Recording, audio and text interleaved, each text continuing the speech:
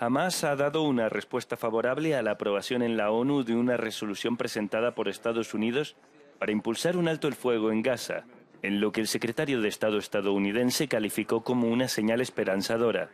Pero el propio Blinken, de visita en Israel, dijo que los mediadores todavía están esperando una respuesta formal de los líderes del grupo islamista en Gaza.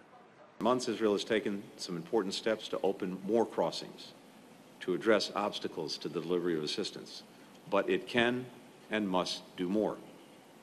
As we conveyed directly to the Israeli government, it is crucial to speed up the inspection of trucks and reduce backlogs, to provide greater clarity on and shorten the list of prohibited goods, to increase visas for aid workers and to process them more quickly. Y mientras Blinken visitaba este martes Tel Aviv, la ONU dijo que tanto las fuerzas israelíes como grupos armados palestinos podrían haber cometido crímenes de guerra durante el operativo israelí que liberó cuatro rehenes y dejó 274 palestinos muertos el fin de semana.